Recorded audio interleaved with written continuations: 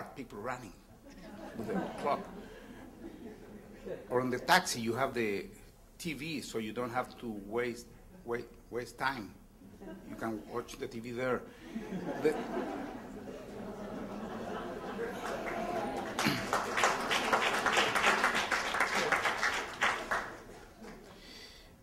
people don't have time, and even here, being one of the richest countries in the world, people don't have money.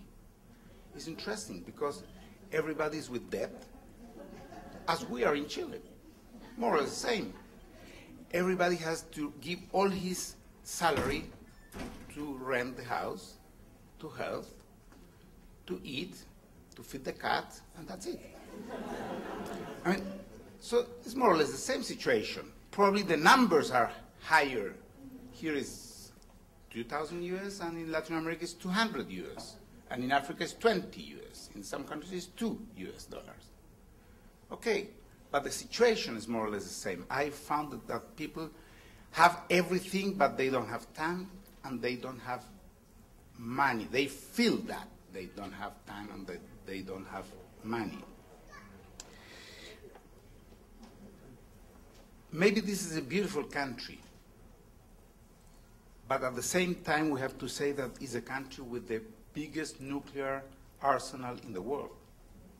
And that this arsenal is not only here, maybe most of all is not placed here, but it's placed all over the world. And this is not a joke. I mean, this country at the same time that has all this uh, strength, strength, esta potencia, has this nuclear power spread all over the world. At the same time, this country is maltratando, is mistreating the rest of the world. As we heard yesterday, Victor, this is a neighbor where you are not treating well each other. And this is not a good behavior.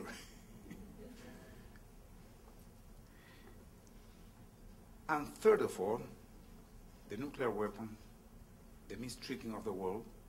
And third of all, there is a problem of concentration of wealth in the world now. Most of the money of the wealth of the money is concentrated in just a few hands. The same that happens in the world happens inside the country.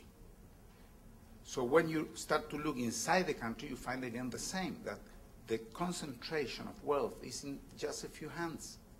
Maybe, so it's a very, it's a illusorio, it's a very illus illusory, it's a very illusory situation where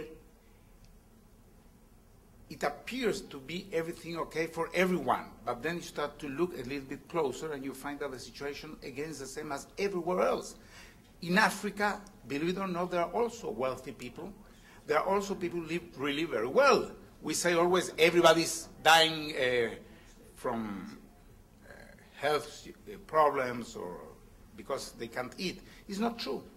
It's not true. There are also some people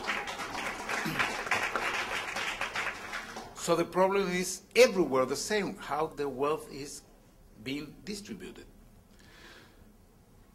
So I find that the problem inside this country, this region, is exactly the same, maybe in a different level, but it's exactly the same we're facing everywhere. We're having the same problem all over the world. And why we are facing the same problem all over the world? Because the world is one. and it's impossible to uh, to separate it in parts.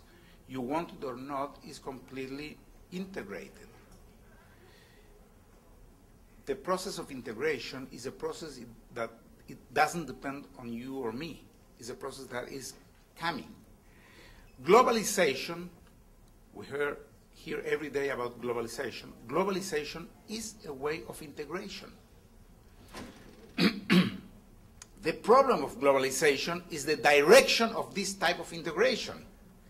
The problem of globalization is that is the sign of this integration.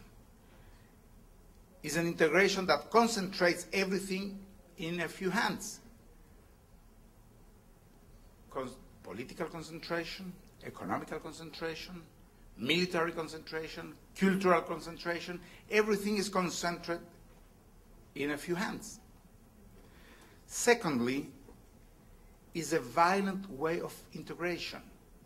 Is an integration based on violence, based on the imposition of one position over the others. There is no tolerance in globalization. And that's the third point. Globalization is a form of integration that, that's a hard word, homogenize, homogenize everything. There is, there is no place for diversity. There is no place for the different. There is no place for a diversity. And that's maybe the main mistake of globalization. Of course, we, don't, we disagree with violence, but when you don't give space for diversity, you are not giving space for life. Because life, by definition, is diversity. It's impossible to imagine life in Earth imagine, if you imagine one species. That's ridiculous. Why there are so many millions of species? Why life is so different? Well, because from this diversity comes the better. I mean, from the virtues of one and the other comes the better. And those are some of the characteristics of what we call in Spanish mundialización. I heard in English is planetarization, I heard. I like more mundialización.